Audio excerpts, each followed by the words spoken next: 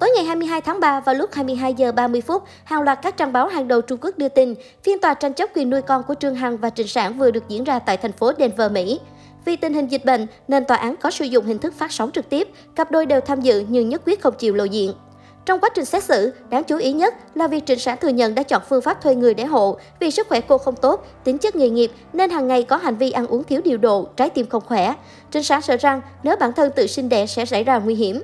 Trịnh Sản phủ nhận Minh và Trương Hằng đã kết hôn, khẳng định cả hai chưa làm thủ tục đăng ký, nhưng vì quá nóng lòng muốn có con nên mới có quyết định nhờ người mang thai.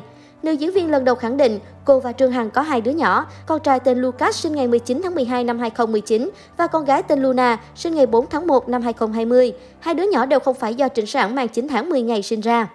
Việc thuê người mang thai hộ là do Trịnh Sản và Trương Hằng cùng nhau quyết định. Tới tháng 12 năm 2018, cặp đôi bắt đầu thảo luận và bàn bạc về chuyện này. Sau đó thông qua việc tìm hiểu ở trên mạng, đã quyết định chọn lựa trung tâm tại Mỹ. Trương Hằng và Trịnh Sản muốn sau khi hai bé được sinh ra sẽ đưa trở về Trung Quốc và cùng nhau nuôi nấng.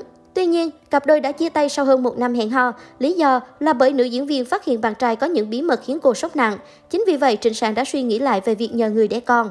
Đáng chú ý, Trịnh Sáng cho biết hiện tại cô đang sống trong một căn hộ ở Denver, có visa được quyền ở lại Mỹ 6 tháng. Hiện cô chưa có kế hoạch trở về Trung Quốc trong thời gian tới bởi đang muốn xem xét tình hình con cái ra sao. Cô cũng cho hay mình chưa có kế hoạch cho sự nghiệp diễn xuất của mình, hiện tại đang tập trung vào việc giành quyền nuôi con. Tại Trung Quốc, dịch vụ mang thai hộ này bị cấm, vì thế nên hai người mới sang Mỹ. Hai cái thai được thụ tinh bởi hai người phụ nữ khác nhau tại các bang khác nhau ở Mỹ, giá tổng cộng là 168.000 USD, gần 4 tỷ đồng. Có nguồn tin khi việc thụ tinh thành công, cặp đôi trịnh sản Trương Hằng khi đó đã rất vui mừng, thậm chí còn tặng tiền cho người mang thai hộ. Tuy nhiên, tới khi cái thai được 5-6 tháng, mối quan hệ của trịnh sản Trương Hằng bắt đầu căng thẳng. Lúc này, cả hai không biết tương lai mối quan hệ sẽ như thế nào. Trong một buổi họp giữa hai gia đình mà nhà họ Trương sau đó ghi âm lại, nhà trịnh sản đề nghị bỏ hai cái thai, nhưng điều này bất khả thi vì hai cái thai đều đã 7 tháng tuổi. Phía nhà Trịnh Sản muốn rũ bỏ trách nhiệm không nhận con, tuy nhiên phía nhà Trương Hằng cảnh báo luật pháp Mỹ không cho làm thế, đó là phạm pháp. Sau cùng, Trịnh Sản đưa ra ý sau khi hai đứa bé chào đời sẽ đem cho, như thế là làm việc thiện. Tất cả những nội dung này đều được ghi rõ trong đoạn ghi âm mà Trương Hằng tung ra gần đây.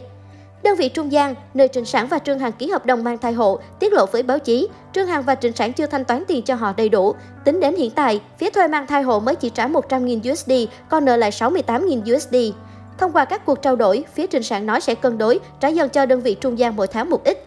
Lương Ba, giám đốc công ty trung gian có trụ sở tại Mỹ, tỏ ra tức giận, nói đôi vợ chồng này là hai người thuê mang thai hộ tệ hại nhất, khi không chỉ không trả đủ tiền mà còn đưa ra những đề nghị không tưởng tượng nổi.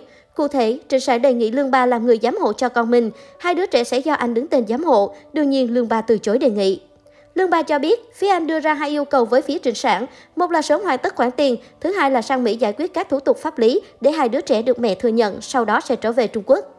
Cũng theo công ty trung gian, dường như cả Trịnh Sản lẫn Trương Hằng đều không mặn mà với việc nhận đứa trẻ về, dù họ là bố mẹ về mặt mẫu mủ. Tuy nhiên, so với thái độ quyết liệt muốn bỏ hai đứa trẻ của Trịnh Sản, phía Trương Hằng trung lập hơn.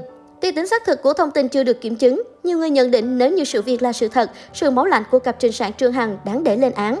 Trong khi đó, Trương Hằng thông qua bản thân tiết lộ, Trinh Sản là người muốn có con trước. Cô chính là người chủ động đề nghị Trương Hằng về việc nhờ người mang thai hộ. Trương Hằng nói, mối quan hệ giữa hai người căng thẳng sau khi anh đề nghị rút khỏi công ty hai người lập ra để theo đuổi ước mơ riêng.